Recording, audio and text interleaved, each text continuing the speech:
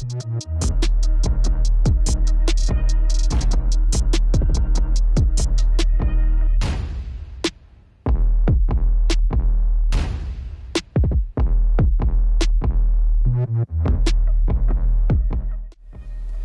hip fold dribbles really work to strengthen your hip and knee while also working on your handles at the same time.